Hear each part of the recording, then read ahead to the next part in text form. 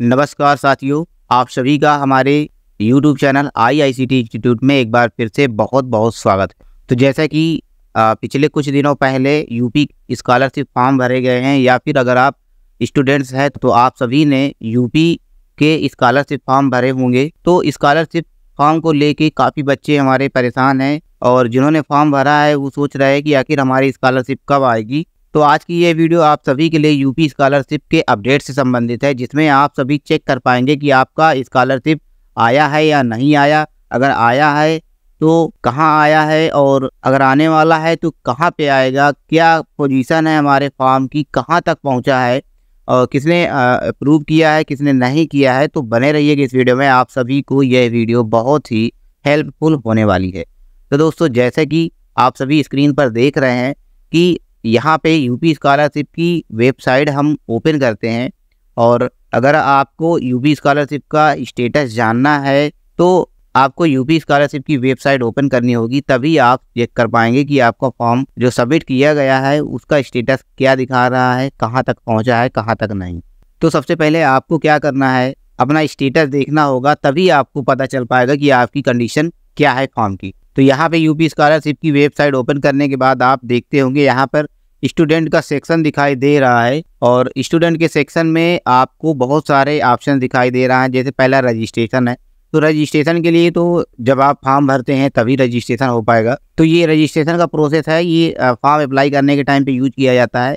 यहाँ पे fresh login renewal login या आधार ऑथेंटिकेशन नया ऑप्शन बढ़ गया है। और यहाँ पे देख रहे होंगे आपका एक ऑप्शन है स्टेटस तो स्टेटस अगर आप देखना चाहते हैं तो यहाँ पे अगर आप स्टेटस पर क्लिक करते हैं तो एप्लीकेशन स्टेटस 2023 22 तेईस बाईस तेईस दिखा रहा है। लेकिन अभी हमको क्या देखना है एप्लीकेशन स्टेटस तेईस चौबीस। तो अब स्टेटस यहाँ पे हमारा तेईस चौबीस का देखना है, लेकिन यहाँ पे अभी आया नहीं है। तो अब क्या करेंगे, हमको स्टेटस देखना है। तो बहुत सारे बच्चे हैं जो मोबाइल से ऐसे प्रयास करते हैं और देखते हैं कि यहाँ पर स्टेटस में क्लिक करते हैं और यहाँ पे लिख के आ जाता है एप्लीकेशन स्टेटस दो हज़ार बाईस तेईस। और तेईस चौबीस का नहीं शो करता है। तो कुछ बच्चे यहीं पे क्लिक कर देते हैं और यहाँ पे अपनी डिटेल डालकर देखते हैं तो वहाँ पर कुछ नहीं बताता है और उसका फॉर्म भी नहीं खुलता है क्योंकि ईयर चेंज है तो इस वजह से उनका फॉर्म नहीं खुलता है। तो आप सभी को परेशान होने की ज़रूरत नहीं है, सिंपली आपको कहाँ जाना है, यहाँ पर स्टूडेंट सेक्शन पे जाना है। अगर आप फ्रेश हैं, फ्रेश का मतलब गेरा में पहली बार भर रहे हों तो ही फ्रेश माने जाएँगे, नया फॉर्म होगा। और अगर आप रिन्यूअल कैटेगरी में है तो रिन्यूअल पर जाएँगे। तो अगर आप रिन्यूअल में हैं रिन्यूअल के बाद आप कौन सी कैटेगरी में हैं? प्री मैट्रिक में हैं इंटरमीडिएट स्टूडेंट में हैं, या फिर post matric other than intermediate में तो आपको क्या करना है? सपोज़ दैट कोई भी अगर आप रिन्यूअल कैटेगरी में है तो यहाँ पे रिन्यूअल पे जाएँगे, उसके बाद इंटरमीडिएट है प्री मैट्रिक या post matric other than intermediate जो भी आपकी कंडीशन हो, जिस टाइप के आप स्टूडेंट हो तो यहाँ पे आपको क्या करना होगा? अपना रजिस्ट्रेशन नंबर फिल करना होगा। तो रजिस्ट्रेशन नंबर आपके पास होगा ही जब आपने फॉर्म भरा होगा तो उस टाइम आपको रजिस्ट्रेशन नंबर दिया गया होगा। तो आपको रजिस्ट्रेशन नंबर भर, भरना होगा उसके बाद यहाँ पे कैंडिडेट की डेट ऑफ़ बर्थ कैंडिडेट की जो डेट ऑफ़ बर्थ है वो फिल करेंगे। उसके बाद आपको जो स्कॉलरशिप के फॉर्म भरने में पासवर्ड यूज़ किया था वो फॉर्म आपको फिल करना है। अगर आपने पासवर्ड भरा है और आपको याद नहीं है तो आपको सिंपली यहाँ पर post forgot password for post matric पर क्लिक कर देना होगा। उसके बाद आपको हाई स्कूल की डिटेल डालनी होगी इंटर की डिटेल हाई स्कूल की डिटेल, ये रोल नंबर और पासिंग ईयर देकर आपको अपना पहले पासवर्ड फारगट करना होगा, रिकवर करना होगा। देन यहाँ पे आपको फिर आना होगा, फिर आपको यही प्रोसेस करना होगा।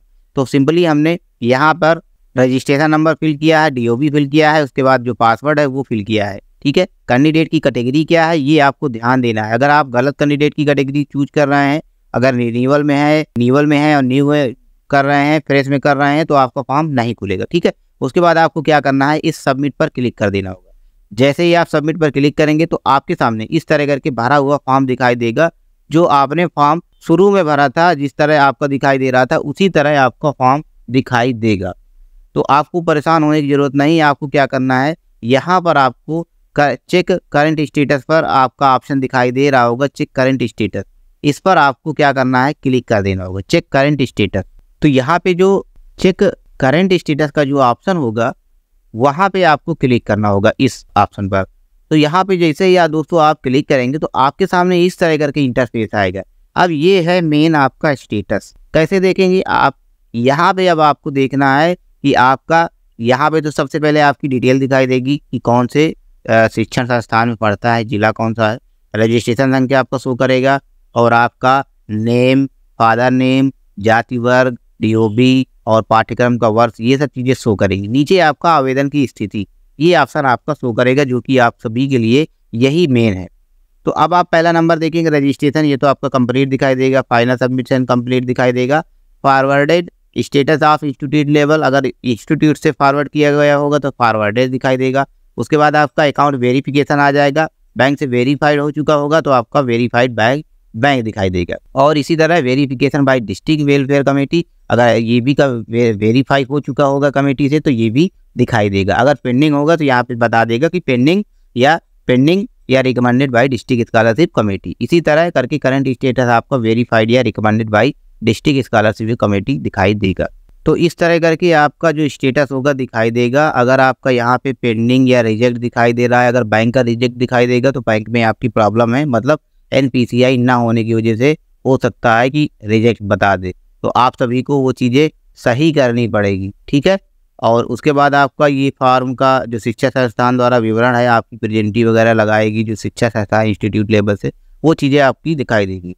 तो इस तरह करके आप अपना स्टेटस चेक करेंगे स्कॉलरशिप का कि स्कॉलरशिप आई है या नहीं आई है। अगर आ, नहीं आई है तो किस पोजीशन पे है कहाँ पर स्टेटस दिखाई दे रहा है इस तरह आपको चेक कर। तो आशा करता हूँ कि ये जानकारी आप सभी को अच्छी लगी होगी। जानकारी अच्छी लगी हो तो वीडियो को लाइक कर दीजिएगा। चैनल में नया हो तो चैनल को सब्सक्राइब ज़रूर कर लीजिएगा।